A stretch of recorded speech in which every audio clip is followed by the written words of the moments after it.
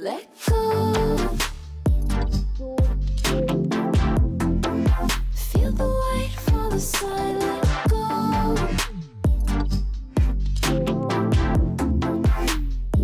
Do what you say, let go.